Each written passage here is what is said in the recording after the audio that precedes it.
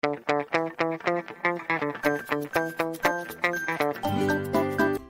you know how firefighters put out fires?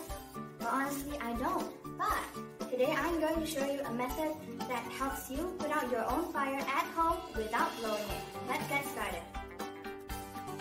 The materials needed are vinegar, baking soda, a jar, preferably longer one, a candle, and a lighter to light the candle. Soda into the jar.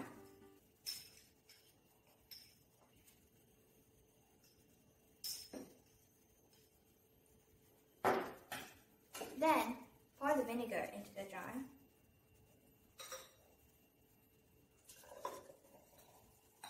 Quickly close the jar to, to save the gas. Okay, no, that. okay, that's funny. Close it to save the gas. and when it's subsided and there's very little bubbles, we're going to pour pour the gas onto the candle flames. Okay, we got it this fast. Sort of pour the gas. And look, the candle's dimming and it's up. We didn't even touch the candle. We didn't even blow on it. But make sure when you're pouring to not pour the liquid out as this may cause harm. Just now I've shown you how to put out a candle the easy way. Let's move on to the explanations. The explanation. How does it work? When you mix baking soda and vinegar, what is produced? That's right, it's carbon dioxide. When you cover the bottle, you prevent the carbon dioxide from diffusing in the air outside. But first, you must know two important facts. 1. Fire needs oxygen to survive, much like us humans. 2.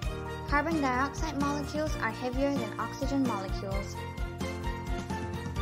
So, as you pour the gas out, this happens.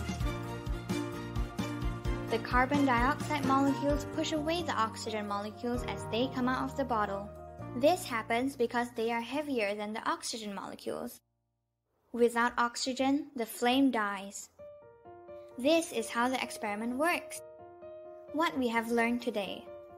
Baking soda plus vinegar equals carbon dioxide. Fire needs oxygen to survive. And lastly, carbon dioxide molecules are heavier than oxygen molecules.